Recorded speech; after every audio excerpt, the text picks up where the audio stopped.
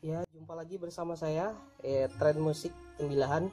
Kali ini kita akan membahas apa fungsi dari ini, tombol OTS. Tombol OTS ini adalah kalau dipanjangkan one touch setting, artinya dengan satu kita menekan tombol ini, maka seluruh pengaturan yang ada di keyboard yang kita inginkan akan tersimpan di dalam eh, di dalam style Kali ini saya mempunyai uh, style grimis melanda hati di sini. Grimis melanda hati. Uh, misalnya saya trampusnya saya kosongkan dulu.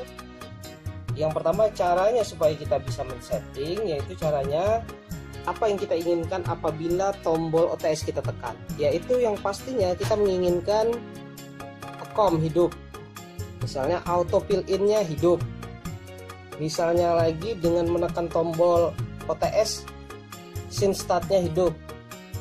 Dan juga eh, trampusnya misalnya kita tentukan trampusnya misalnya minus satu. Atau upper octave-nya kita minuskan atau minus satu.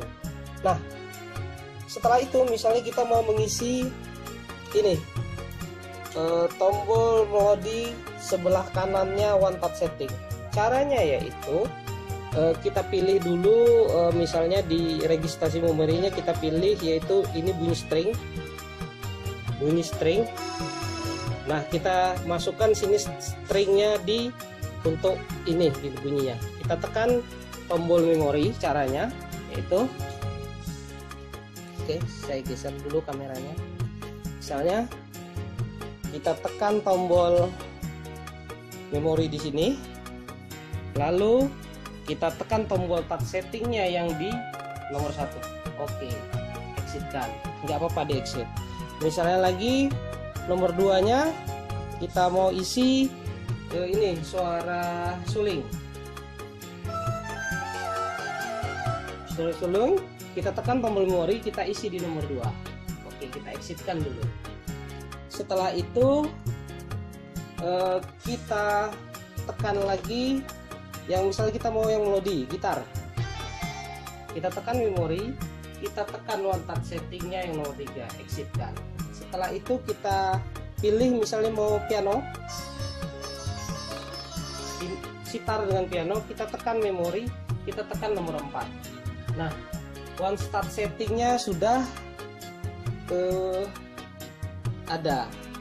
Setelah itu kita uh, trampusnya tadi berubah kita naikkan terampusnya nomor di terampusnya di minus 2 misalnya oktavnya di satu. Setelah itu kita simpan style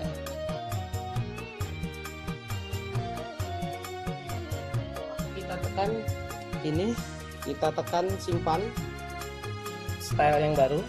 Oke kurang jelas. Ini dia. Kita tekan yes ininya minus satu ya saya minuskan. Kita tekan tombol F sebagai penyimpan. F yes. Kita tekan save. Kita namai OTS agar berbeda dengan style yang pertama. Oke.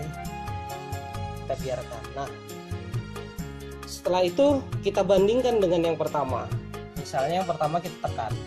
Kita matikan outlinknya kita tekan ini kalau kita menekan tombol OTS apakah dia hidup semua? Tidak hidup kan? Tombol sini nggak hidup. Sini komnya tidak hidup. Ini nggak hidup. Ininya masih tetap karena ikut eh, yang style tadi karena ini adalah tempo dan trampus nah bagaimana kalau kita telah eh, apa eh, menekan ini? Menekan style yang sudah kita simpan OTS nya yaitu ini. Ini kita tekan OTS yang sudah kita eh, masukkan OTS-nya kita exitkan. Kita tekan tombol OTS eh, ini langsung hidup. Langsung hidup semuanya. Hidup. Dengan menekan semua hidup ini hidup semua hidup. Dan ini pun berbunyinya sesuai dengan sesuai dengan yang kita simpan tadi. Sesuai yang kita simpan kita simpan. Nah kita bisa juga mengganti dari uh, padnya tadi. Jadi misalnya padnya kita yang lain kan sehingga uh, makin bervariasi makin bervariasi uh, anu kita. Ini bunyinya akan lain ini ini sulingnya lain ini tetap akan berbeda juga. Nah akan berbeda juga. Lah itulah uh, bagaimana cara uh, menstel sebuah uh, tombol touch setting yang ini. Sorry kita matikan dulu kita buktikan sekali lagi kita matikan uh, ininya uh, one touch settingnya kita tekan grimace OTS kita tekan tombol touch one touch settingnya. Maka hidup akom hidup start link hidup ininya one touch settingnya itu dia semuanya hidup. Oke itulah tip trik dari saya. Semoga bermanfaat. Uh, sampai jumpa uh, ke video berikutnya. Jangan lupa lap uh, jangan lupa subscribe like and comment. Salam musisi